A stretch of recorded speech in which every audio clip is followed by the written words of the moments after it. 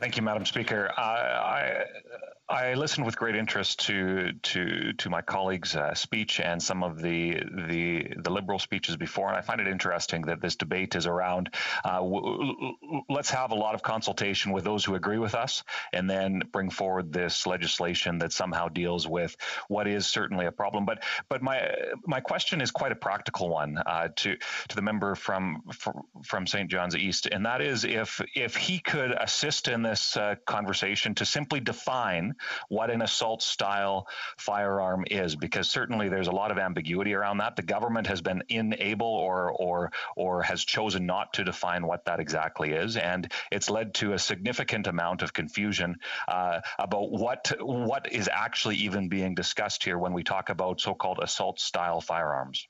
The uh, member St. John's East.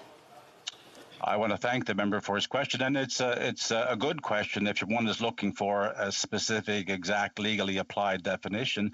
But I think it's uh, there in the uh, in the list of, of, of type of weapons that are actually been specifically banned. Uh, and I think it's something that if the if there needs to be an improvement in the specific definition, that that's something that could be handled at committee. And I would welcome any suggestions for making uh, opening up the areas of ambiguity so that we could look at them and uh, and perhaps uh, amend them to ensure that the, the definition is accurate.